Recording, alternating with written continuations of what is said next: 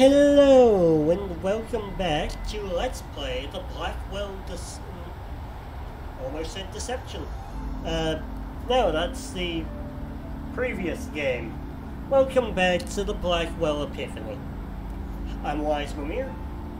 Last episode we helped a child move on. And yeah, the game the game gets depressing at times. That's one of the times. Uh, yeah. Kendra will be back in later games. Just not this one, and presumably not this franchise. I think this franchise might be done. Who knows? I hope it's not. I really do. Because I I love these games. And I'd love to see more games in this series. But I will settle for games in this universe. Uh, I went to the wrong place. Whoopsie. Whoopsie doo. Okay. Here, Leah Piero, and back into the, uh, back into the house. Back into the basement, which smells like corpse because of course it does.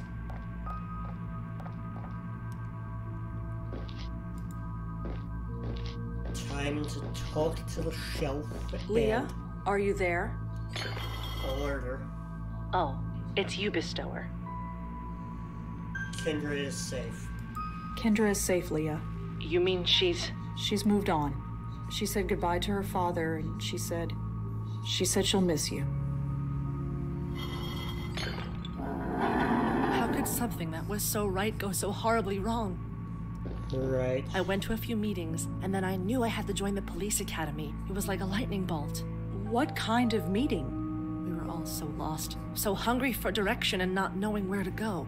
All of us searching for that elusive something, that revelation that would fix our lives. The meetings at Grace somehow gave them to us. gave them to you? Yes, no matter how confused we were, we all found our way. But this, all this was the price. Leah, I need you to focus and tell me what happened. I loved being a cop. I loved being a mother. I did good, didn't I? I thought I did. And you. You do good. That's what I heard. You always help, right? I help the dead. That's what I'm counting on. Oh, What? no. No! Jesus! So she Did did it work? Why, Leah? Why do this? herself. I'm Why? sorry, but it's the only way. My only escape is through you. I know what you did for Kendra. Now do the same for me, please. Please before they come for me. Oh no. Okay, we're gonna have to use the tie. Okay, I mean, Leah, here's how it works. aware. That's Officer Piero But- to you, and I know how it works. Great, that saves time. Red here is gonna take you somewhere safe, and when she does, you're gonna have a chat, okay? Fine, fine. Let's just do this quick.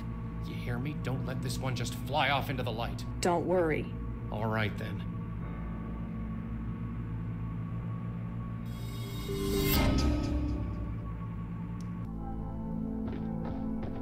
It's so quiet here. That little room was quiet, but not like this.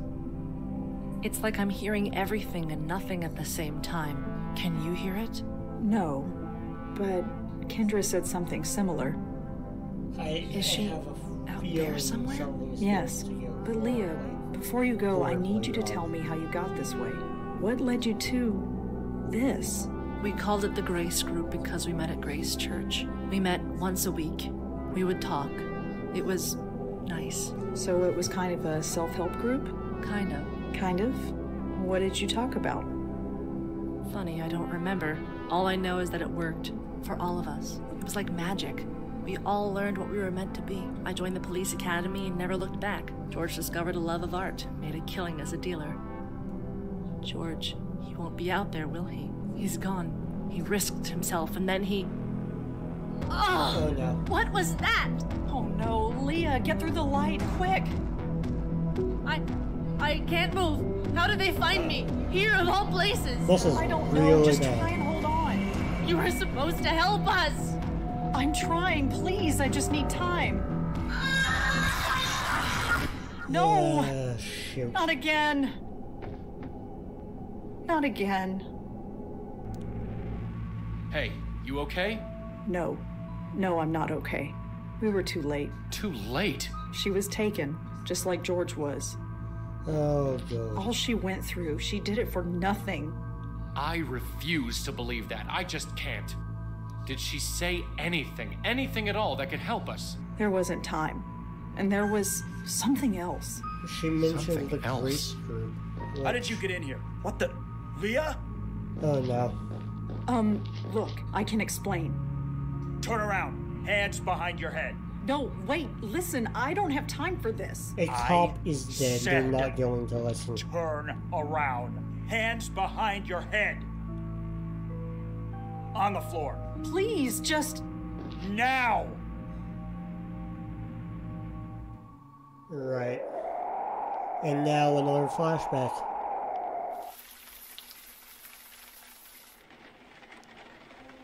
Sorry for the wait, ladies. My assistant seems to be out. What can I do for you? Are you the owner of this establishment? My name's on the sign. Ah, So you are Malone. That's me. And you are? My name is Madeline. And your friend? Jocelyn Contis. Pleasure to meet you both. Right. Like most lost spirits, he seems unaware of his circumstances. Okay. So.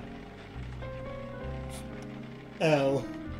I love how for Madeline he just shows up as uh, Malone.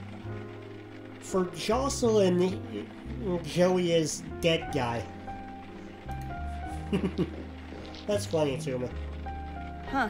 Some kind of band. Danny and Linda Marconi? Never heard of them. Okay. They were all from last season. Ugh, stupid rain. They look horrible. A jacket from two seasons ago. I guess this place has been closed for a while. Right. It worked, didn't it? I have no idea how that got there, and nobody can prove otherwise. Of course they can. Jeez, what happened here? I mean, I guess a shootout. But Hey, Miss Contis, what can I help you with? The bullet holes. so, who shot up this place? Hey? Come on, this place looks like the set of a gangster flick. I don't know what you mean. the window. Uh, so, did you see who smashed up your window? What are you talking about? The window looks fine to me. Right, of course it does. Totally agree with you. You into music? You into music? I saw that poster on the wall. Oh, that's Danny's thing. Danny, The guy who runs this place with me, him and his girl, Linda. they're in a band. If you can call it that. They play weekends sometimes. He wants to make it big, but, uh. But what? But nothing. Danny just needs to focus on earning an honest living, that's all. Where do they play? Do Danny and Linda have regular gigs? I don't know. Why? I might want to hear him play. Save your eardrums, lady. That's my advice. Are you seriously telling me that this place looks normal? Listen, everything here is top of the line. We're even looking into that dry cleaning stuff. What cleaning?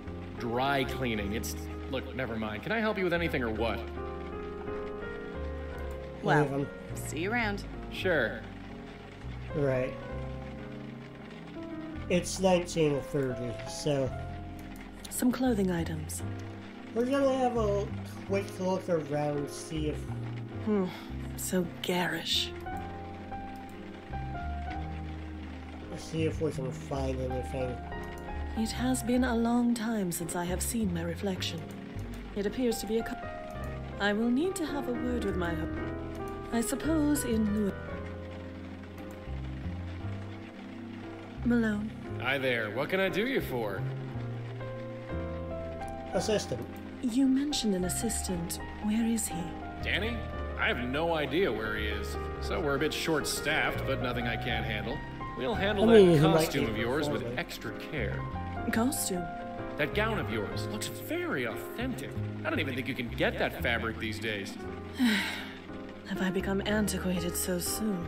No offense meant, I, I quite like it. The tiara's a nice touch. Brings out your eyes. Well, I always thought so. But you are mistaken.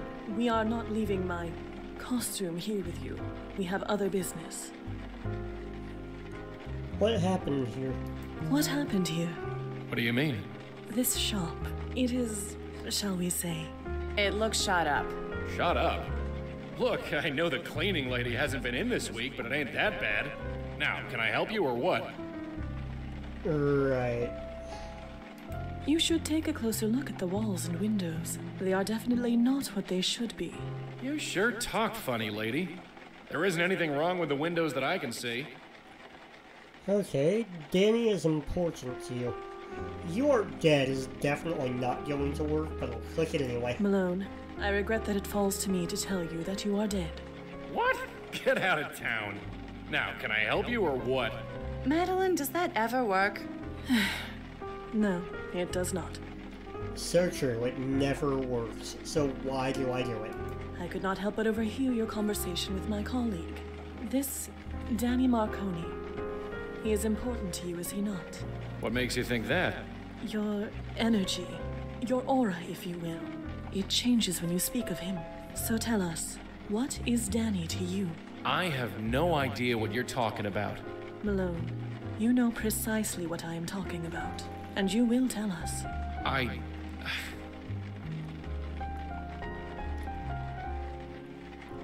We will understand. You don't think we will understand. Rest assured, we will. The only thing I understand is that I want you both gone. I could leave as you request, but I don't believe you want me to. Not really.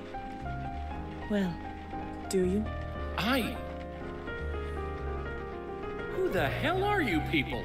We are here to help, nothing more. You are so close now, so close. Right, he. he now he remembers. Why is everything so confusing? It does not have to be. Life used to be so simple. Then Danny had to go follow a pipe dream. He had to make deals with club promoters, club promoters he couldn't pay. So they showed up here. I told Danny to stay away while I tried to talk some sense into them. And did you? He got away. That's what's important. At least, I think it is. I'm not Right. so sure anymore. I understand you now. You are adrift. You are scared. But there is nothing to be scared of. Come here. There's club. My host, Yeah, uh, sorry. He got involved with the mob. And because of that, I don't know why I did it. Danny isn't much, really, but he's a good guy. You think it was worth it? I don't know. Sorry. You don't have anything to say? Anything at all? No, not really. yeah, she's a lot more. So I just callous. head that way. Yeah. Well, tell your friend thanks. And if you ever see Danny, forget it. I suppose it doesn't matter. Right. So Joey had gone into the light, and now he's a spirit guide. my host. My host, are you alright? I knew you'd follow me in here. You can never give me a minute's peace. You should not stay here too long. Or what? I'll die. I get it now. We all thought my uncle was nuts, but he was just numb. He just stopped caring. About anything. Who could blame him? Trust me, my host, it is best to push those feelings aside. Why? It is what must be done. That is all. What does it matter? Listen to me. In time, you will feel differently. Differently. Yes, this will all feel normal. Normal. I don't want this to be normal. Many of your predecessors felt the same. In time, things changed. I'm going dancing, Madeline. Don't wait up. Right, and this is. And this I is see. the end of I suppose after all this time it was inevitable that one of you deciphered the method. But do you think it will be that simple? It will not work. Do you hear me? It will destroy you. My host, Jocelyn Countess, hear me. Countess! Countess! And so she became the Countess. 2:23 a.m. Detective Corey Palmer conducting interview with Rosangela Blackwell. Detective Sam Durkin also present. So, Miss Blackwell, tell us again why you were in that house. Say nothing. Tell them nothing. Keep your teeth together. We'll get out of this. Answer the question, Blackwell. Let the record show that the interviewee has chosen to remain silent. That's your right, but your silence can and will be used against you.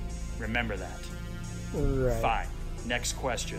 What happened to Detective Piero? She shot herself. That's a lie. Why would she kill herself? She just wouldn't.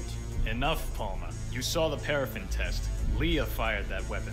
I refuse to believe that, Sam. Believe what you want. Those are the facts. Well, here's some facts for you. This lady was chatting with Emil Haskins earlier this evening. Not only that, we have a witness who saw her sneaking into his office at work. How do you respond to that?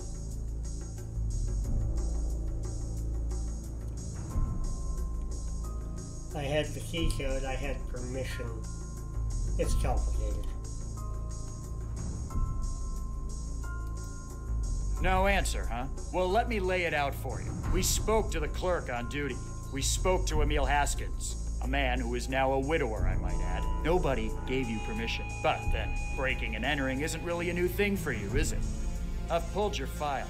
Do you even know how many restraining orders you have against you? Let the record show that the interviewee has chosen to remain silent. Again. If getting banned from the campuses of NYU and Columbia weren't bad enough, we've got a dozen complaints registered against you from businesses and families. I'd call Bellevue to have you taken away. But you're banned from there, too. Who the hell are you? And why haven't you been taken in before now? Palmer, take a walk. Sam? You're tired. Go get a cup of coffee. I don't need coffee. Don't think I don't know what's going on here. I've heard the rumors that you've got some mysterious informant. Is this her? Palmer? Fine, I'm going. But we will find out what happened. It's our damn job, after all.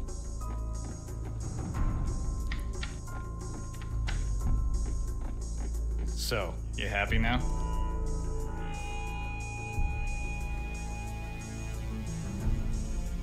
Of course not. I only wanted to. What? Help? You think you helped anyone here?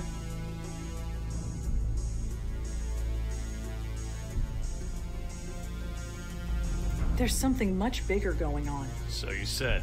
But we cops, we like things simple. Not you, though.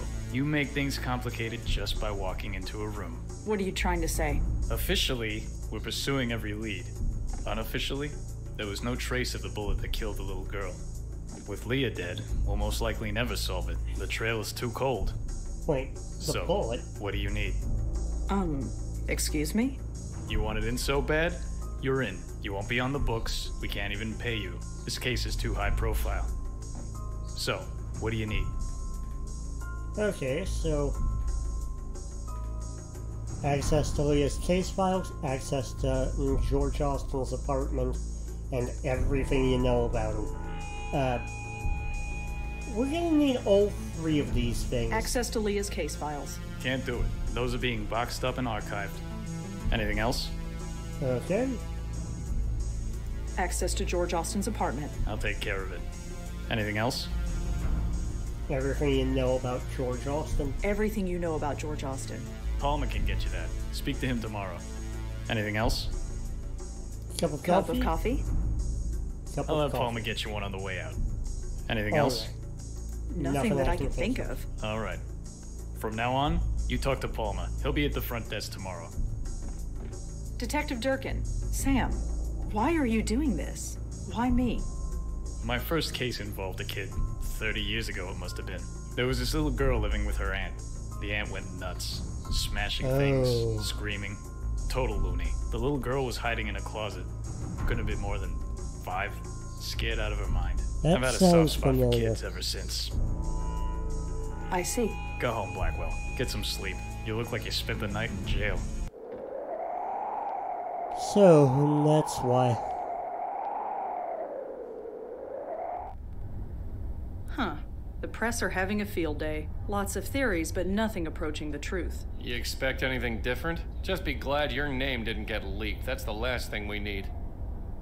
No trace of the Grace Group either. Then we best get out there and do what we do. Auntie Lauren gave that bear to me when I was a kid. His name is Griff, the PI bear, although he's more the geriatric bear these days. Mm-hmm. Okay. So, new emails.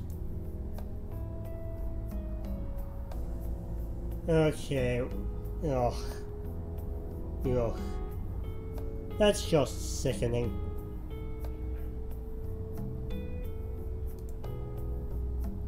Okay. We've got case notes which we'll download.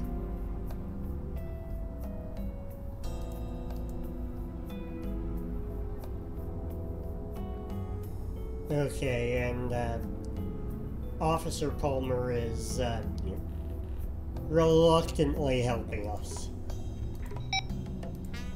So, first stop. Back at the uh, station. Oh, it's you. Sam told me you'd be swinging by. Hi, Corey, was it? No, it's Officer Palmer.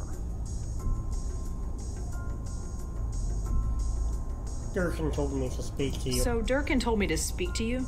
Yes, I heard. Congratulations, I guess. I don't know why you're so special, but orders are orders. You need any information from us, I'll see about getting it to you. But you talk to me, and only me. Understand? Perfectly. I'm sorry about Leah. I'm sorry about Leah. Don't even go there. I don't care what you saw, or what the evidence says. Leah wouldn't kill herself. And if she did, then she wasn't Leah anymore. Oh wow, a cop that doesn't give a shit about evidence. Big surprise. So are we good? Good? You don't think I still killed anyone, do you? I don't know what to believe. But Durkin vouches for you, and he now owes me a favor, a big one. So, I guess I come out ahead. Where's Durkin? Is Detective Durkin around? I haven't seen him since yesterday. I'm sure he's wandering around somewhere. Yeah, probably. Okay, let's bring up the fact that he's taking Leah's death personally. You seem to be taking Leah's death rather personally. The chief would agree with you. That's why I'm shackled behind this desk instead of out there doing something. Right, can't have you interfering because we know you'd interfere. So what's the latest on George Austin? He was killed with a 22 caliber bullet. That's all we know so far. We're still talking to Leah's ex-husband, but he's got a pretty solid alibi. Right. How did Kendra die? Was that ever established? I read the autopsy report. It was definitely a bullet. It went right through her shoulder. Clean hole all the way through. The coroner said that she hmm. bled to death, but could have survived if she was brought to a hospital right away. Right, but Leah I don't understand this. panicked and Not dragged at all. her into the space behind the shelf. So, in the end, it's Leah's fault that Kendra's dead. Did you know Emil Haskins at all? Ah, I don't know much. Just what Leah used to tell me. I got the impression he was a deadbeat. Always out of a job, always late with child support payments, things like that. Guess he doesn't have to worry about that stuff anymore. Right, all your information about him is secondhand. So what's the story with you and Leah? I get the impression you knew her pretty well. Yeah, I guess you could say that. I partnered with her back when I first joined the force. She taught me a lot. Everything, really. I owe her. She was a rock. She was a rising star. Why would she flip out like she did? I'm working on it, Corey. I really am. That's Officer Palmer, and I'm not holding my breath. Okay. Well, George and Leah both were members of a self help group. They called it the Grace Group. Oh, yeah. Leah told me about that place. She did? Yeah, she didn't go into detail, but I know it meant a lot to her. She used to tell me that nobody could ever fall so far that they couldn't still reach for a helping hand. I'm not sure what that meant, but she used to say it all the time. hmm, Well, I'd better go. Sure. right. So, all of this is reminding me very much of the end of Blackwell Deception, where we figured out that uh, Gavin was heading a cult. Uh, I have a feeling that's what's going on back at the uh, back at Grace Chor- Hi. Church. Yes, miss? My name is Rosangela Blackwell. I was told you'd be expecting me? Is this about George? That's right. I still can't believe it. But here's the key 12th floor, penthouse A. Thanks. 12th floor, penthouse A. Okay. Yep, just old clothes. Right, nothing interesting about the box of clothes. So I guess we're heading up the stairs, or up the elevator. That'd look amazing on my bathroom wall. Darling, that thing's bigger than your entire bathroom. Okay. So, first Bok off, choy, garam masala, quinoa, branzino. It's either a shopping list or a voodoo spell. Okay, that's definitely a shopping list. It's a tablet computer. Looks like it's still in the charging dock. Okay, let's see if we can get in. One missed call. Michael. Whoever this Michael is, he seems to know quite a lot. Hmm. Okay, so we've got Michael's number. So this Michael has a source who knows about bestowers, about me. This is starting to get personal. Hmm. Whoever Michael is, he seems to know a lot. Perhaps more than he should.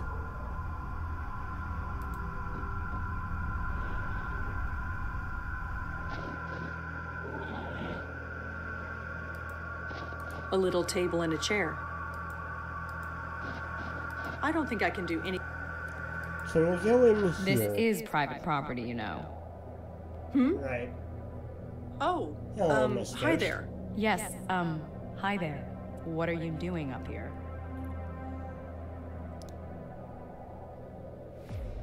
I'm a friend of Cure, uh, friend of George. I'm a friend of George Austin. Hmm, a friend, of course. I suppose he was bound to get to a redhead sooner or later. Oh, no. Oh. It's nothing like that. Please, That's it's none of my assumes. business. Okay. Anyway, I'd best head back in. But I'm sure I'll see you around. Ta.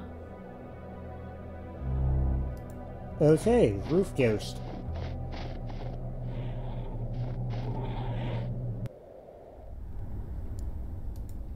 Okay. I have a feeling we're gonna need Joey to go over here.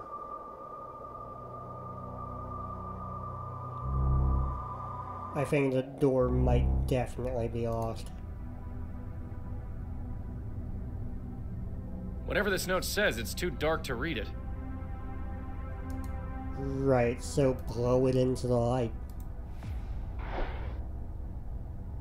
There we go. It says, I know about Heather, and it's signed by someone named Jay. Okay. Hi there. I'm sorry, have we met? Kind of. I think you met my friend earlier. I see. You're both looking after George's place. Yeah, something like that. Something along those lines. So you actually live here? Uh, so to speak. Yes? Why are you so surprised? Well, this place is kind of, well, empty. I live alone. That's not what I mean. Look around. There's nothing in here. What on earth are you talking about? Never mind. Uh, right. We can't really ask about the uh, uh, furniture because, unfortunately, she died before the furniture was all removed. So, um, is she's going to in- insist that the furniture she uh, had is still there. Well, whoever you are, I'll. Say hi to George for me. Okay.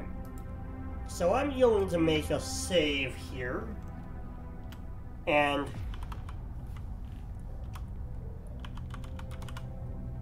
next episode we will pick up where we left off.